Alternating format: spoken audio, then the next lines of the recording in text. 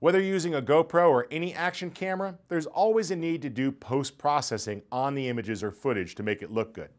I know a lot of people who get frustrated. They buy one of these action cameras and they say, my video or photos looks nothing like what the manufacturer shows. The manufacturer does a lot of work to make that material look good. And if you want to explore these techniques in depth, I actually have a whole course here on lynda.com all about processing GoPro footage and stills. But for now, I'm just going to take a couple of shots and give you the highlights. It all comes down to this. You're going to want to remove the lens distortion, and this can be done with lens profiles or the GoPro software, which is free. Additionally, a little bit of color correction and boosting of the saturation goes a long way. Let's open up a video file from a GoPro into Photoshop. You'll note that Photoshop gives you the ability to use video files since Photoshop CS6 extended and if you're working with CC, it's pretty straightforward. We'll start by going into Photoshop and making a new document. Now, you're going to want to choose from the film and video presets and then select something that matches your size. I'm going to be delivering this back to play on a television set, so I'll choose HDTV 1080 and click OK. Now, you could simply choose to bring up the timeline panel so it's viewable and create a video timeline. To add a clip to the timeline, just click the plus button and navigate to the video file that you want to use. I'll go right here into the GoPro folder and just grab that one and choose Open. Now you'll see there's two shots in the timeline, the white layer and the GoPro video file. Let's just delete away that white layer by selecting it and pressing delete. If I press play, I can see the video play back. And we see the initial getting ready and strapping in, and then they get ready to go, get their gloves on, and head out. Well, this looks like a better place to start the clip, so let's just cut that there, select the front end, and press delete. You see it goes away. Now let's watch what we have. Depending upon the speed of your hard drive and a handful of other things, it may drop a few frames, but Photoshop's almost playing the full frame rate there. 29.97 frames per second is what we had for real. And this is pretty interesting. We are well above the canyon floor, and this is my nine-year-old son at the time, and this is him seeing a waterfall from above the waterfall for the first time. Now, as we get towards the end here, there's going to be some parts we don't want, and he comes in for his landing. So let's get him all the way in there. And that looks pretty good. And we can end it right there. I'll just drag that back. You'll note while you're here that there's a lot of things you could do right inside the timeline. So, for example, you can consider to process this image. I like to do things like just doubling the video group. So if I select the video group and press Command or Control J, it makes a second copy. You'll note that that copy is directly on the one below. And putting this into multiply mode works really well. It adds up the colors down below.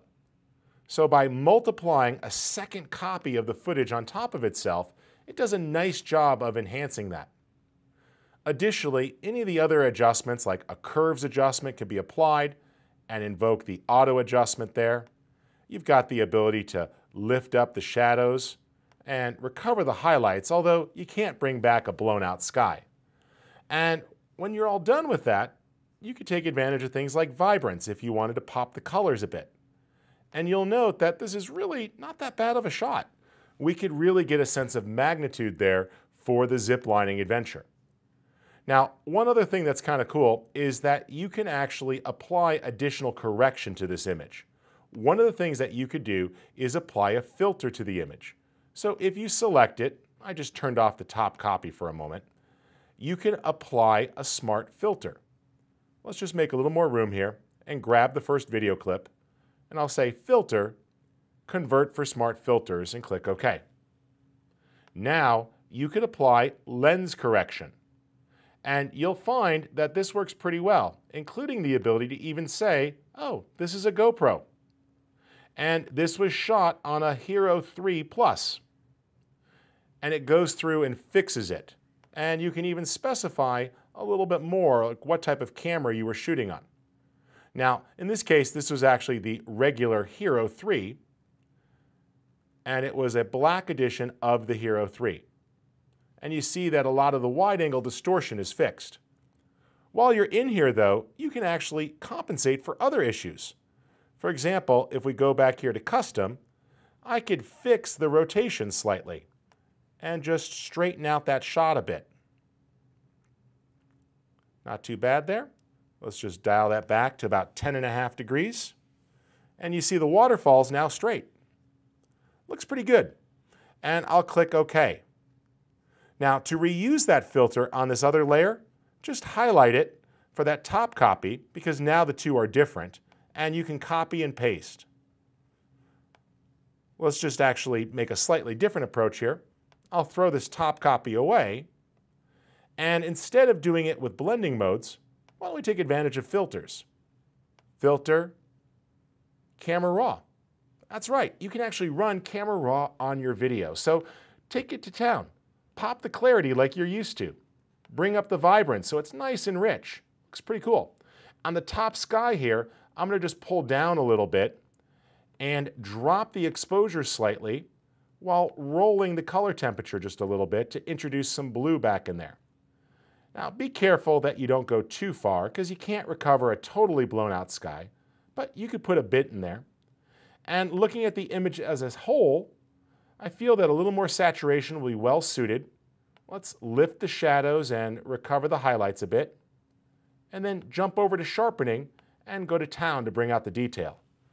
This is exactly like the stills we processed earlier, so option dragging can recover some of the edges there.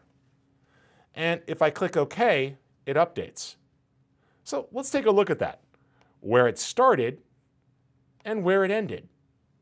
That was a combination of applying lens correction to remove the distortion and straighten out the shot, because after all, when you're riding on a zip line, you're not exactly worried about is my camera crooked. And then run the camera filter to enhance the overall look. Once you're all set, you could choose File Export and render out that video. You'll find a lot more about working with GoPro footage available in a course here on lynda.com.